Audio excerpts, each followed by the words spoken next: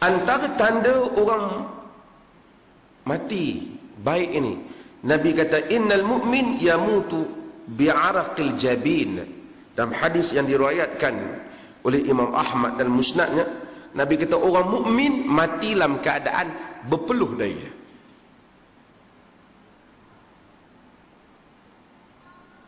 Ulama-ulama bincang macam mana mati berpeluh daya.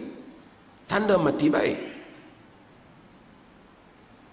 Kata mereka, sebahagian mereka berpendapat, kata kemungkinan kerana ketika itu dia sedang mengalami kesakitan yang hebat dan Allah ingin mengikis dosanya.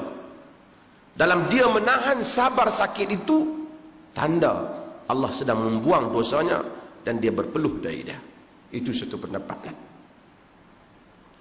Satu pendapat kata, kerana dia malu nak menghadapi Allah adanya sifat malu kepada Allah. Allah tuan-tuan manusia kalau tak beriman dengan hari akhirat kacau. Dia keluar daripada dunia. Dia kata dia rasa sabut dia pun nak bunuh diri. Dia ingat bila bunuh diri selesai masalah dia. Dia tak tahu dia terjun lagi pada satu alam yang dia tak boleh keluar lah dunia boleh juga gagah-gagah semacam mana teruk pun kehidupan dunia ini macam mana habaklah teruk terang mana. Sebahagian teruk itu perasaan kita. Akhirnya manusia tetap juga boleh mengadu. Kalau semua orang tak mau mendengar aduan kita. Tetap juga kita boleh memanggil, Ya Allah. Dengarlah aduanku.